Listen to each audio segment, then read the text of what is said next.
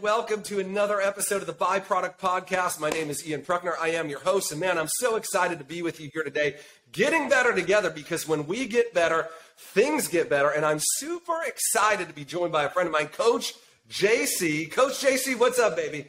What's up, my man? All day, Ian. Hey, I'm super blessed honored and grateful uh, to be on your show, and I'm just excited. I believe today is going to be a life changing show for your listeners, your viewers. So I'm stoked, brother.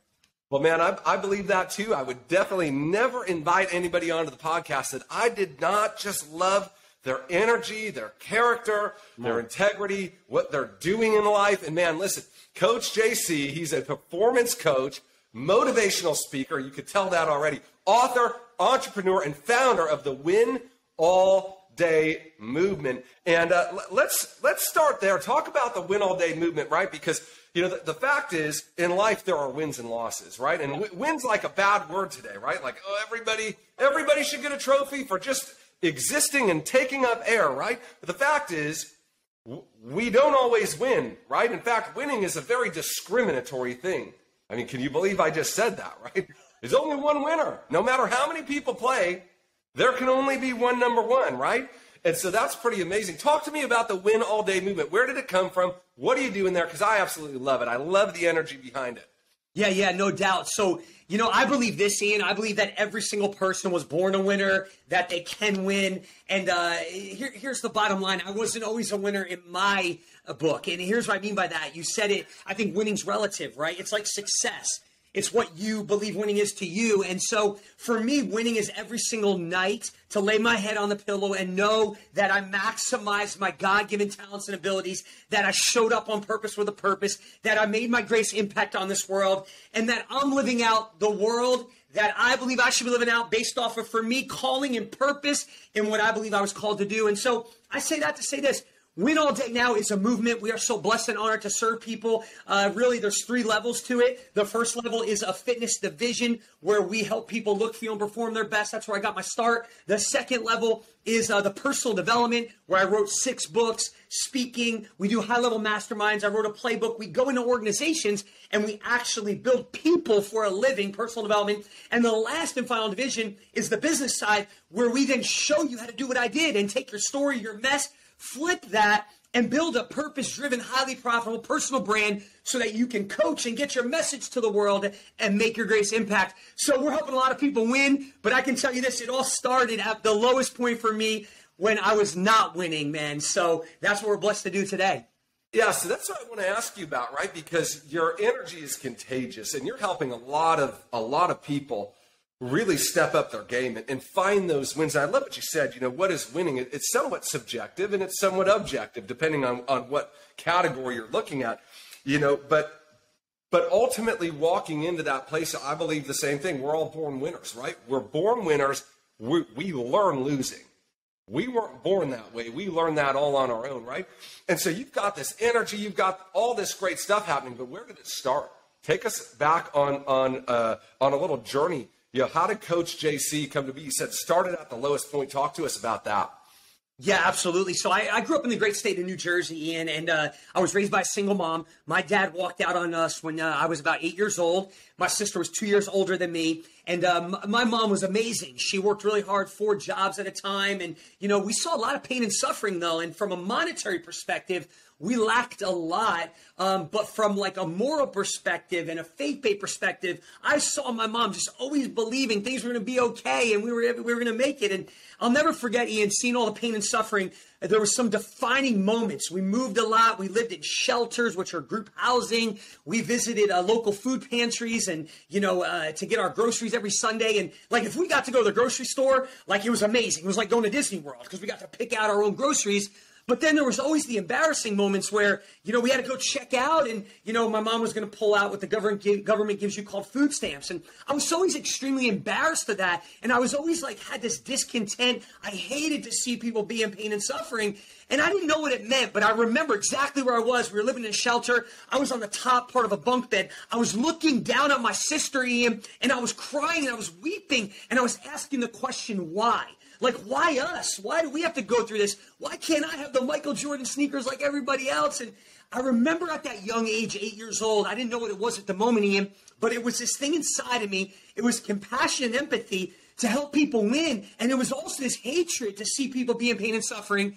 And so I was on a mission at eight years old, brother, and I made an oath with myself that I was going to be the one to save the family. I was going to rescue my mom and my sister from this poverty stricken life.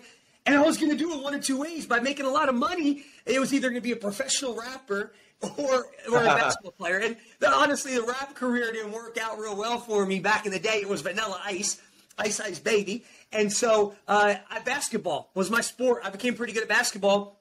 And it took me out to Oklahoma, a Jersey boy in Oklahoma, to play basketball at a university called Oral Roberts University, ORU. And in 1999, Ian, I made one decision, the power of choice, that radically changed my life. There was a cute girl on campus. You know, all the athletes were chasing her. And guess who won? This guy. And she got pregnant. You know, I'm 19 years old. That was frowned upon. They said, get married. We're married. We're divorced in eight months. And now I end up throwing away my basketball opportunity. I end up 19 years old with a kid on the way. I end up over $400,000 in debt fighting to be a dad in a custody battle.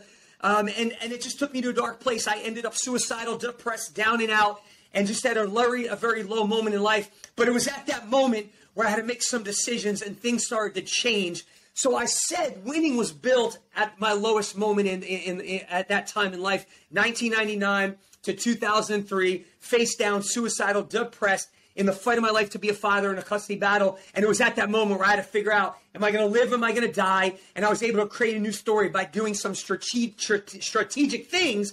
And now that most painful moment has become my purpose. And that's where the Win All Day brand was actually birthed.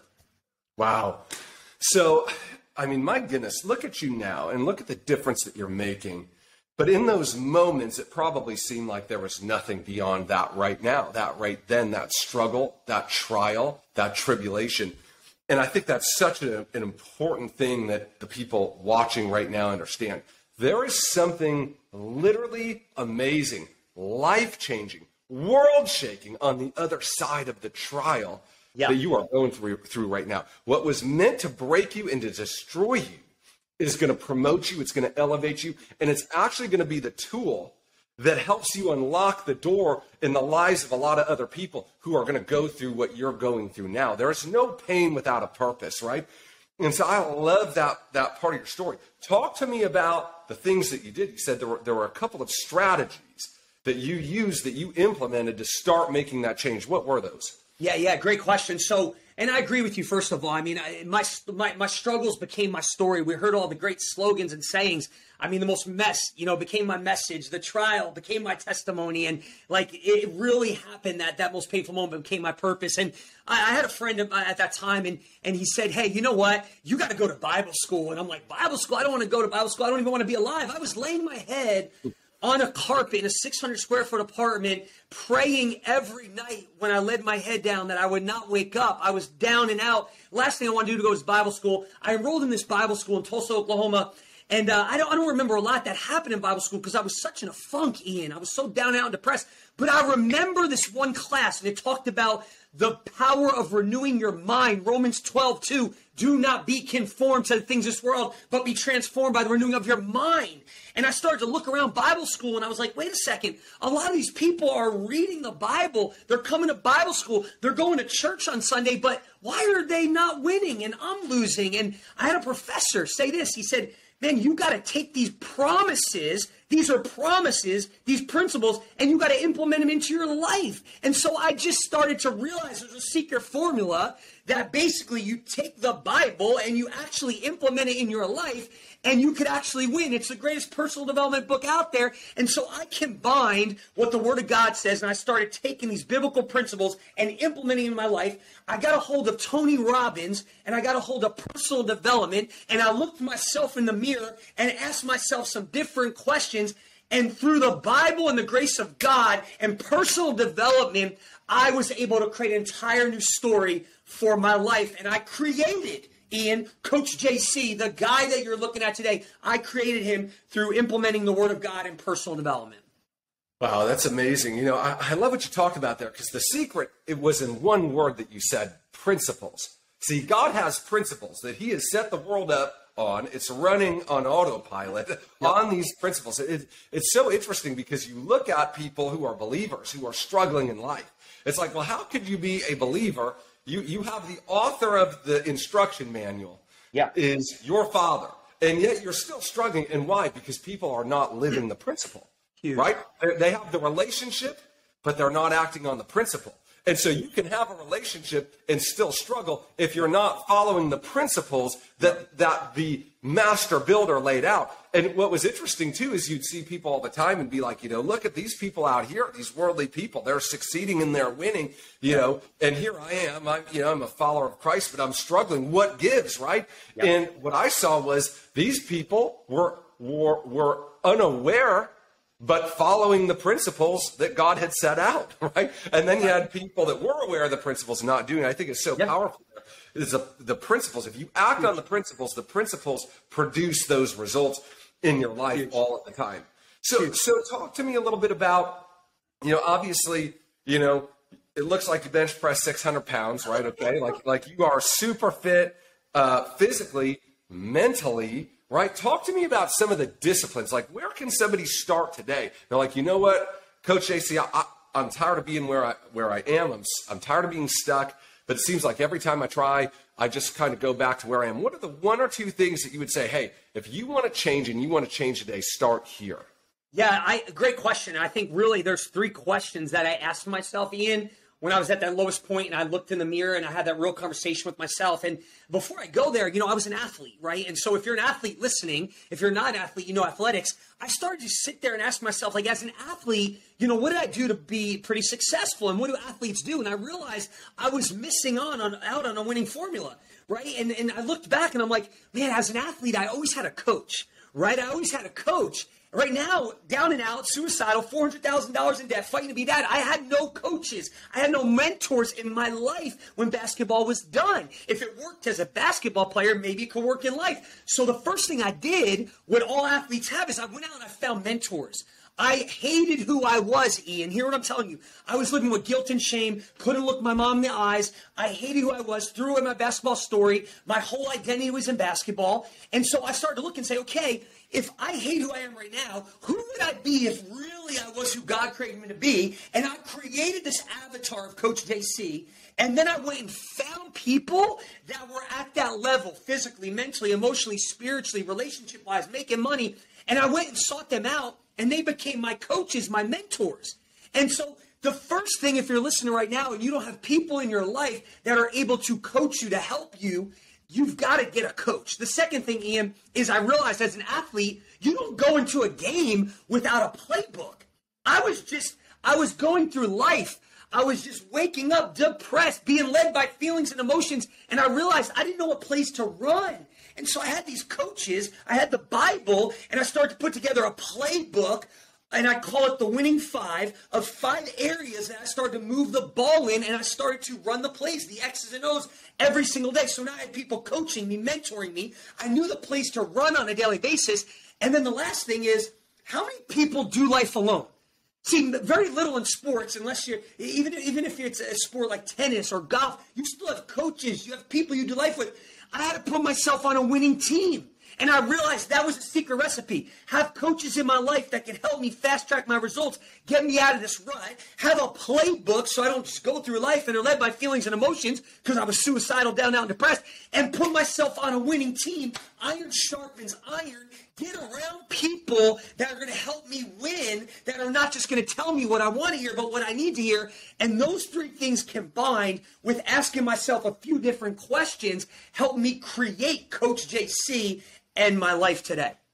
Yeah, we're literally creating ourselves, right? God's the creator with a capital C, and He's called us creators with a with a lowercase c, right? We have the ability to shape and mold our lives, and yet so many of us are contented by being shaped and molded by the circumstances surrounding us. Yeah. So, so you mentioned five areas where you want to start moving the ball. I think I know what those five areas are, but I want to hear it from you. What are those five areas where you're like, you know what? I have to start moving the ball in this area if I want my life to be all that it could be.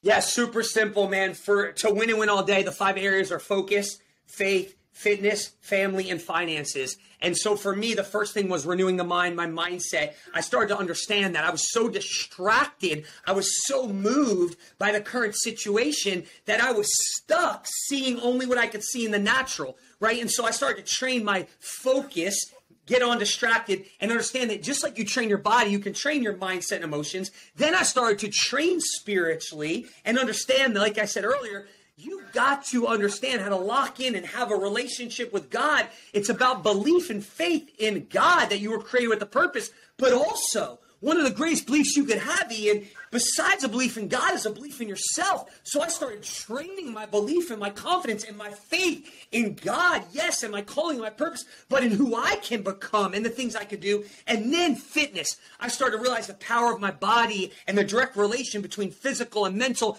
And I started to get around people and the strength coach at that time at Oral Roberts University. And I started to train my body so I could feel good and perform good on this new mission. And then I started to talk about family. I threw away, you know, uh, you know, family situation, and I knew I was going to be a dad one day. And family was bigger than just my immediate family. It was the relationships and the people I was hanging around with. Right? We heard the old saying, "You'll become." The five people you hang around the most, I started to create relationships and connections with people that would help me win. And the last one was finances.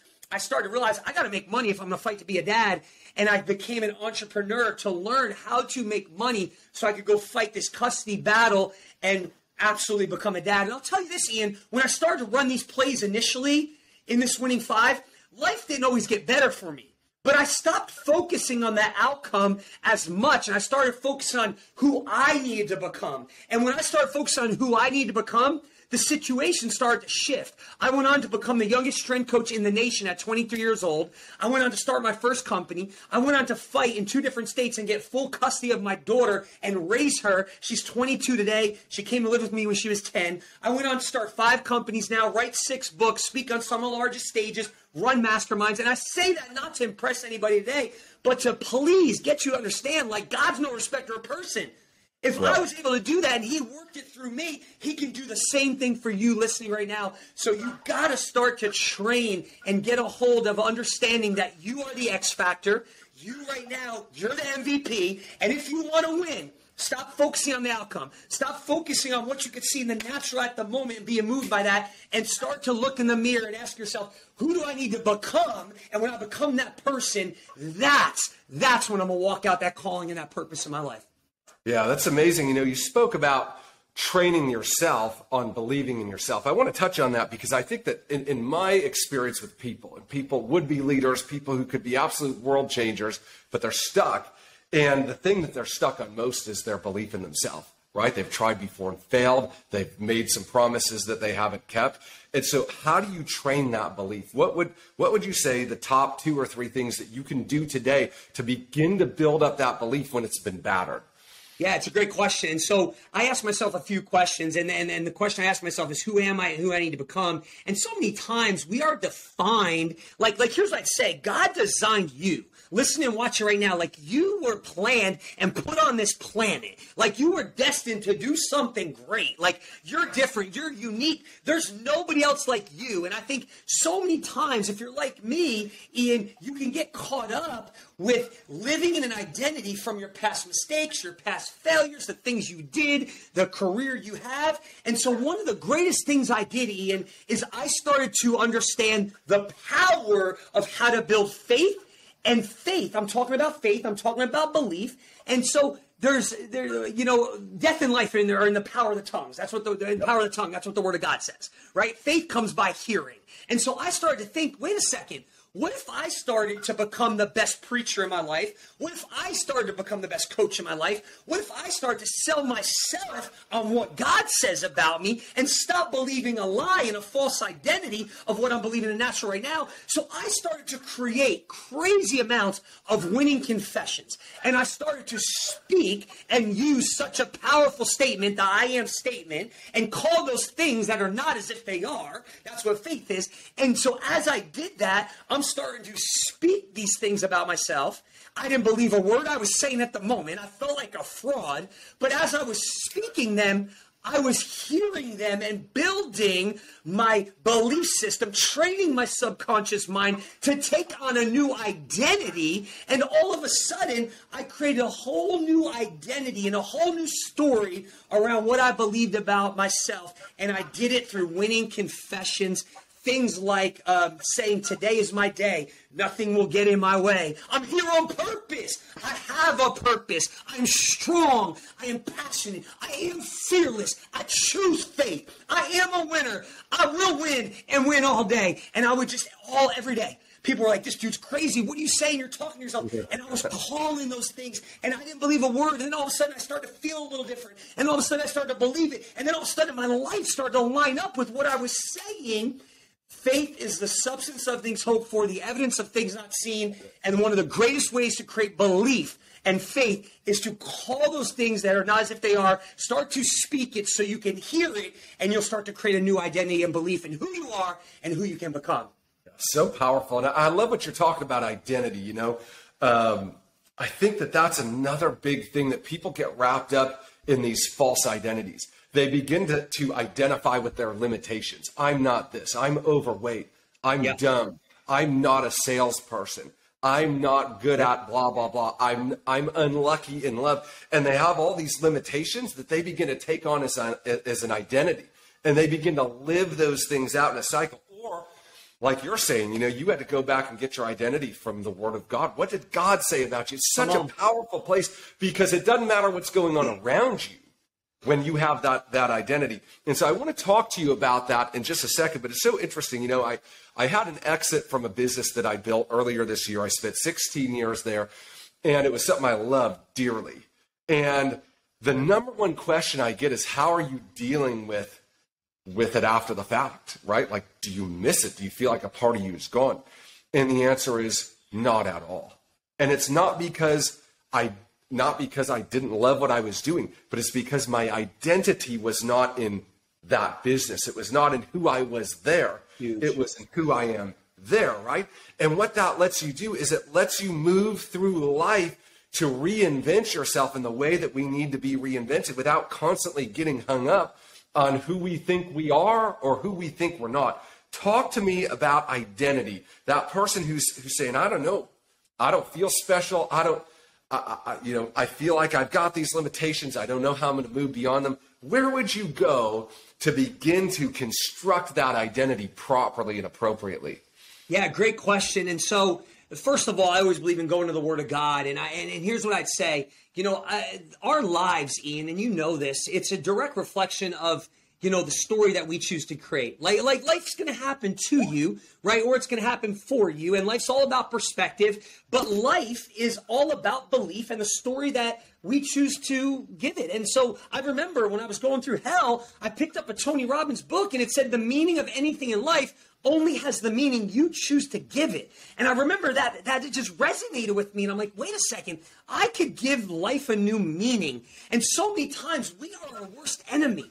We are the we, we are the ones talking us out of winning. And so where I would tell a person to start right now is you've got to first understand and define what winning looks like to you.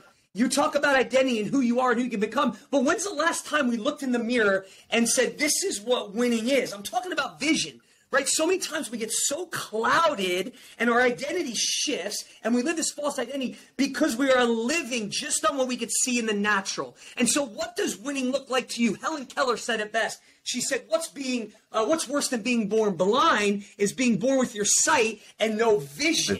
And so, right now, I believe the person listening or watching is getting their sight back getting a new vision of who they are, who they can become, and what they can have. And when you start to see different perspective, the meaning of anything in life, only as a meaning we choose to give it, you start to look in the mirror and say, hold on a second, I'm not going to confess those things about me if I'm a child of God, if I was placed on this earth, and you start to see different, right? And so I want the person listening today, I want the person watching today, I want you to be inspired, I want you to be motivated to understand that you were born with a purpose, that you were bought with a price. And so what can you do and who you can become that you've never been before is possible. Where you can go that you've never gone is possible. You know, you got to start to see that. You got to start to see who you can be that you've never been. And so the first thing I say is you got to create a new vision around how you see yourself and how like a vision brings hope. A vision brings faith right? And so I would encourage the person right now listening, put it on pause and just close your eyes and start to see the best version of you. Start to see what the Word of God says about you. Start to see yourself in shape again. You know, breaking the, the, the curse of poverty, whatever it might be. Start to see beyond the current situation, Ian. And I believe the first step is you've got to create a different vision, a stronger vision of who you can become, and stop confessing what you see in the mirror about yourself at the moment. Does that make sense? Yeah, it absolutely does. not And, you know, uh, when you're talking about vision, it's so funny, you know, the, the life I live today, people sometimes ask me, they say, Did you ever imagine that you would be where you are? And I say this in all humility. The answer is I imagined it a hundred thousand times. yeah. Right? I watched that vision over and over and over and over again in my mind until it pulled into reality, right? It's so powerful. Yeah. But you know, the the the the, the part you talked about assigning meaning, again, this is something that I think so few people get. You know, you can have a, a struggle or a challenge, and people might look at that and assign a meaning that, hey, something's wrong. Maybe God doesn't want me to do this. Maybe, maybe this is a sign that I'm not supposed to be going that way. Or you might assign it the meaning that there's something here for me that I need to take into my next level.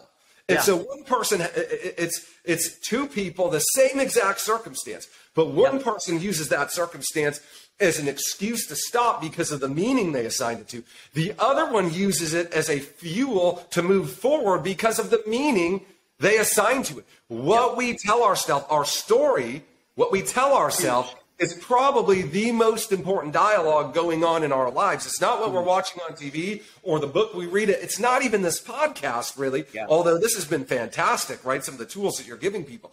It's the story we're telling ourselves about who we are where we're going, and why we should be there that matters most. So, Coach JC, listen.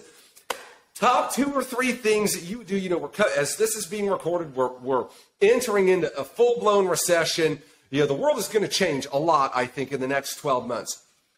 Top two or three things you think the people watching, almost everybody watching this is an entrepreneur of some sort. Okay, what would you say to these people about how do you position yourself to dominate coming into this new and changing landscape? Yeah, it's a great question, Ian. I think there's a lot of doubt, there's a lot of worry, there's a lot of fear. And I'll never forget in 2008, you know, we were going through something similar and I didn't even understand what was going on because I ignored it and I just keep I kept building and I built my first ever company in 2008 um, with no money, still $400,000 in debt, fighting to be a dad, and we grew it to uh, over 400 women. It was Tulsa's first ever fitness program and eight locations. And so, again, I go back to what we talked about earlier perspective. And so, here, here's what I'd say. Here's what I'd say, and what came to me when you asked that is, you know, what's your purpose?